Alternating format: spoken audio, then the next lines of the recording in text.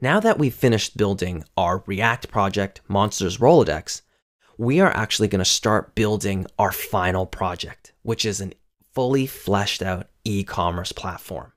We're going to expand upon all of the topics that we covered today doing this Monsters Rolodex, but we're also going to use more patterns and more of the fundamental libraries in the React ecosystem that large companies are already using to build their web applications today. So, let's take a look at what we're actually going to build. This is our final e commerce project. We're going to have navigation and routing that takes us to different pages of categories of items. And from these items, we're actually going to be able to add them to our cart. And from our cart, we're actually going to see these things directly update. And from this cart, we're going to be able to check out, increase or decrease these items again, and see the live changes in both our checkout page and our cart page, remove items, and actually integrate with a Stripe API so that we can handle payments. Now, this is actually going to be a test version of Stripe because we don't actually have items to ship and we don't actually want to process real payments because this is just a portfolio project. But the matter of switching it is simply a change in the actual Stripe website. It you're going to actually learn what it is to actually build using the Stripe API. And beyond that, we're also going to integrate with Firebase to handle our authentication and our storage. So with Firebase, we're actually going to be able to authorize our users using Google so that we can sign in with our Google accounts. And once we sign in, we're also going to provide a sign out feature and a sign up and sign in with email and password feature. So it's going to be a really fleshed out, fully complete e commerce platform, just like you would build for a real e commerce company. Now, before we begin, there are a couple concepts that I want us to go over with React so we have a better understanding of what it is that React is actually doing for us. So, in order to begin, we're going to have to go to our original Monsters Rolodex application. And now we're going to look at our actual developer tools and we're going to look at our DOM. So we know that our DOM is our representation of our actual application. Inside of our app component that we built, we have that H1, we have that input, and we have this card list. These are all elements that are children of this app. And our inside of our card list is those children, these card containers, right? If we were to actually look at this from a very basic representation, we'll see that it actually looks like this tree, right? This is our app. That was that H1 title. This was that search box. This is the card list, and that card list has children, which are these card component nodes. So this tree actually represents our actual DOM. However, in order for our actual DOM to update any of these elements, it's actually extremely slow. So it takes the DOM a lot of energy to update any of these elements. Now, what React does is it copies this actual DOM tree and it makes it in JavaScript just like we see when we write our JSX. Our JSX also is just JavaScript that returns what looks like these HTML elements. So what React will do is it'll completely copy this actual DOM, except this it will call the virtual DOM. And the virtual DOM is, as I mentioned, just a complete copy of this actual DOM, but in JavaScript. Now, in our application, whenever we update any of the data that ends up being rendered in our components, let's say our fifth monster's email or its display name changes. Well, React doesn't actually want to re render the entire DOM. It only wants to affect the thing that matters, which is this node.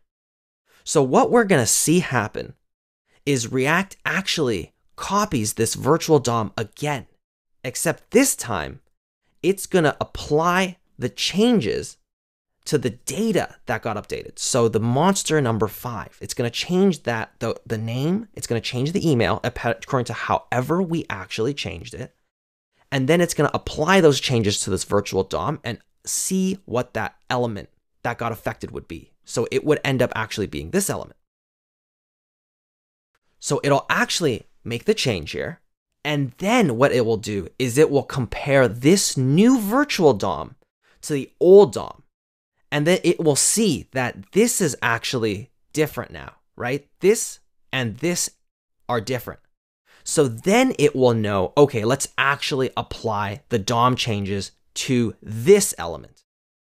And when it does that, it's actually way more performant because it doesn't have to mess around with the DOM unless it knows exactly what elements it needs to update.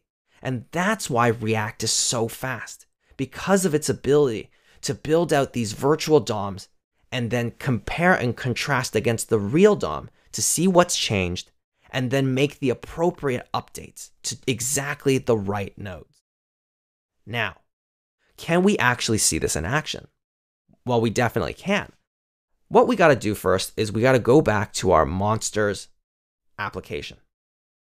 And we're going to make a couple of minor changes first. So, in order to see this in action, we're actually going to add a new field to our state, our data, and we're going to call it our title.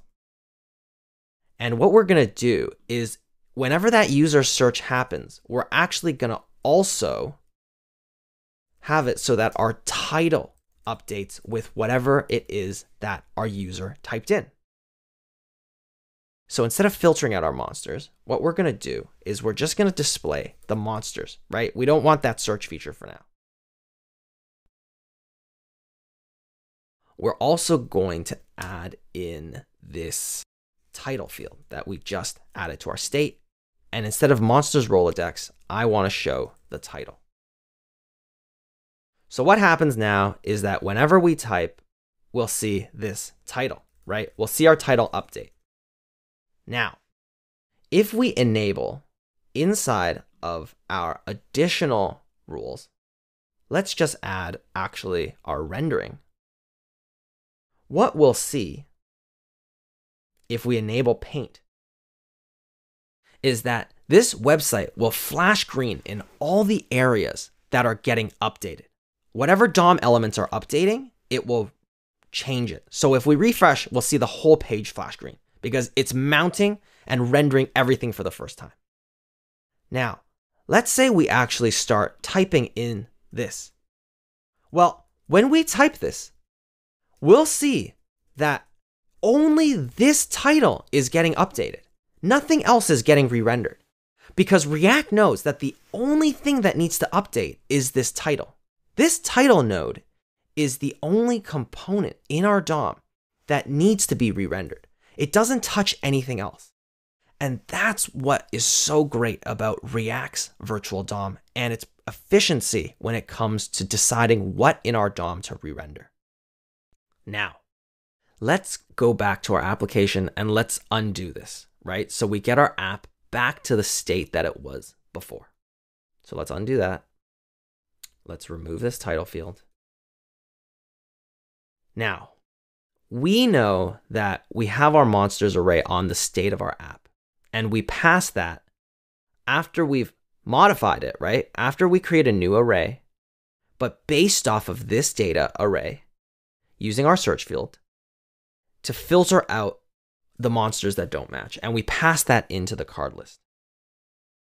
And then our card list component is the one that will then map out using the data that got passed into it the new cards, right? So if we were to look at this thing again, except let's just focus on our application, right? That monsters array sits at our app. It gets passed in the card list, and then it generates these components, right? And these end up being all of our actual components that we view. This is actually all of our views. what React does when it's actually rendering out the application is that React is based off of this data that we saw, right? The data from the state of our app component, the monsters array, gets passed to this card list component, which then renders out these components, these card components. If, for example, whenever we type in our search field and we update and change that filtered monsters array, right, that gets passed into our card list, then React actually re renders this entire tree because it knows that the data at this point has changed. So if it's passing that data down to its children, the children are what is going to need to be re rendered. However, if we can imagine that we moved the data of our monsters and our filtered monsters, all of this into the actual card list component instead. So if we took all this and we moved it into here so that the data actually sits at the card list level. Well, what happens if we were to do that same thing? If we were to modify that array at this level, right? Instead of it sitting here, it's now here. And then we modify that array. Well, these children would still get re-rendered, right? React would re-render any part of the tree below this node because the data that's used to generate these views actually sits here. But anything above it, the parent, our app, and then the siblings, right? The search box and the title would not re-render. React has no reason to re-render anything above this node because the data only affects the children below this node. This concept is called unidirectional data flow. So in React, that idea of building views from data is actually very key as to why React's so predictable. So here is actually a quick image of what that looks like. That data is in our state, right? Our monsters array, our search field, all these things. React uses that data to build out the views as we saw in our card list example, right? Where we mapped over that monsters data to build out these card components. And then if the user does anything or the application does something from the viewpoint, right? It'll trigger these actions that update the state. Now, this action, we can see it as something like when we type in that search field when we type in that search field, that action is trying to update the state, right? The data that we have. It updates the search field, and then that search field updates that filtered monsters array, and then that again gets passed and used to generate the views. Now, that data always flows in this direction. It always goes from the state of our data to building out the views and then from the views, there might be interactions that make actions that'll update the data again. This idea of unidirectional data flow is what makes React code so predictable and less prone to errors. Because of this flow of data that always goes in this one direction, we can anticipate if something doesn't match, if our views don't match, we know that there's got to be only one place that's causing these issues to be co- to come from. That's why unidirectional data flow in React is so awesome. Now, I know this might still be confusing because it's so conceptual, but I just want you to keep this in mind before we start building out our applications. It'll all make sense, I promise. Now, let's get started on actually building out our e commerce platform.